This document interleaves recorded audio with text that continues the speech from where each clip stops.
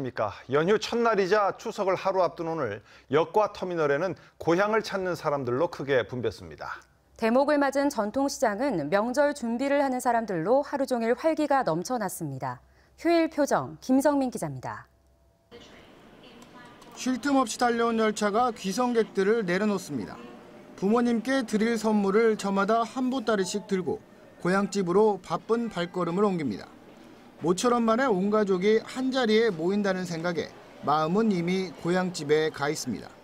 정든 고향에 어, 명절을 맞아서 오게 돼서 너무 반갑고 또 사랑하는 가족들과 함께 오게 돼서 더욱 즐겁습니다. 연휴 첫날 대전역 등 주요역과 터미널은 하루 종일 고향을 찾는 귀성객들로 붐볐습니다. 추석을 하루 앞둔 전통시장은 말 그대로 문전성시를 이뤘습니다. 하얀 김이 모락모락 나는 떡집 앞에는 송편을 사려는 사람들의 발길이 끊이지 않습니다. 갓 나온 따끈따끈한 송편은 나오기가 무섭게 팔려나갑니다. 고소한 냄새를 풍기며 노릇노릇 익어가는 저는 보기에도 먹음직스럽습니다.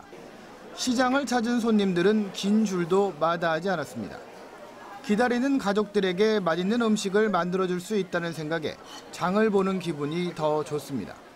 내일 추석이라 닭 사고 돼지고기 사고 떡 사고 아들면이랑 같이 먹으려고 사러 왔어요.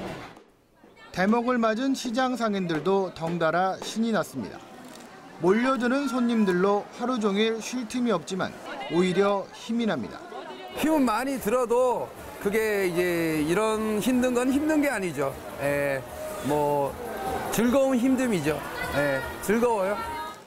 넉넉하고 풍성함이 있어 더욱 의미가 있는 한가위 연휴 첫날이었습니다. TJB 김성민입니다.